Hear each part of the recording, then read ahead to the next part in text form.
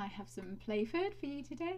This is a piece called The Hole in the Wall. It's one of my favourite Playford dances and of course originally it was written by Purcell before it went into the Dancing Master a little bit later on. I found two different recorders that this one sounds great on so I shall play it on both. Um, this is the Küng Superio in olive wood it's very dark olive wood. It, it's been accused of being made of palisander on a couple of videos, but it is actually olive wood.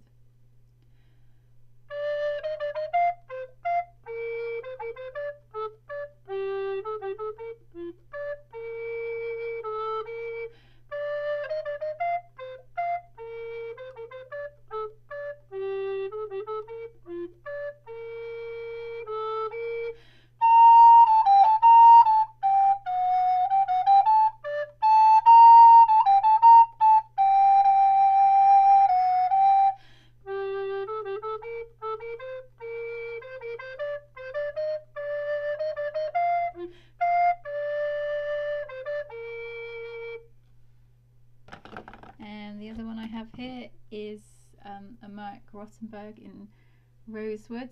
It's the tulip wood kind of rosewood rather than palisander rosewood.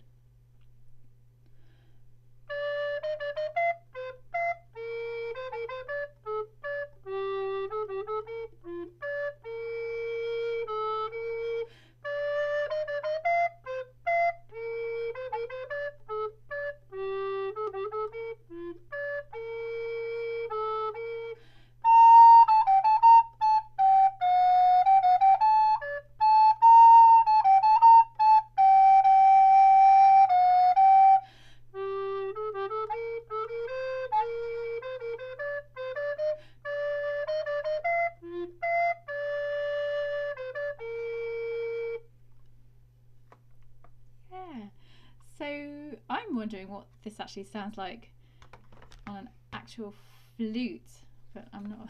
I'm not a very wonderful flautist.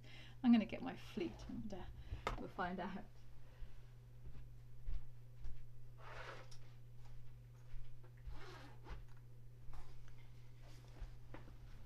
Here we go. So I spent years and years and years um, playing on a Yamaha 311 flute. Because you know you can go up to grade 8 on a Yamaha 311 it's not called a 311 anymore that's the old model. You know Yamaha 311 absolutely fine. Um, but if you don't actually like it then it's it's not very inspiring. And it took years and years and years to, to realize I did not actually like this uh, Yamaha 311 flute that I had. Um, so I went and I tried all the second-hand flutes at the music shop and I got this one by Muramatsu and um, it's it's got a nice sort of delicate sound which I quite like.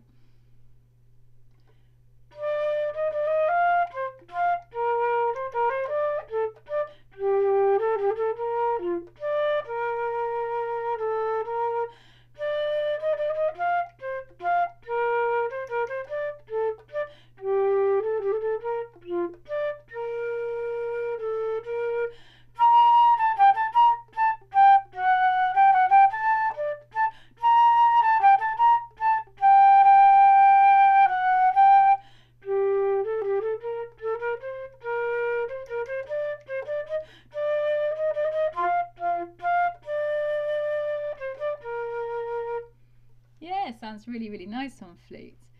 Um, I I did really like it on this Moeck though.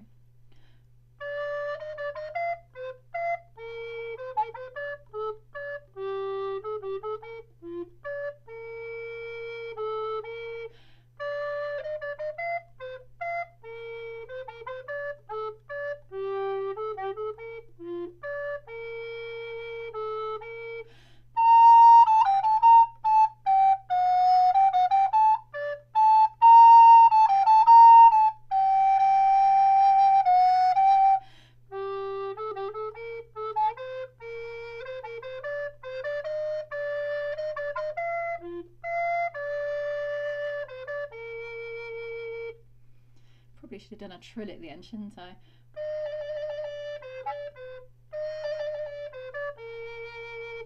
It's a, it's a bit awkward um, trilling between D and E flat on treble recorder.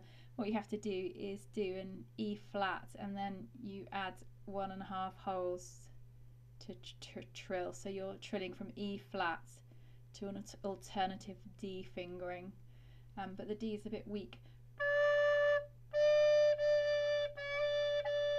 And a bit sharp, but you can't blow it very hard.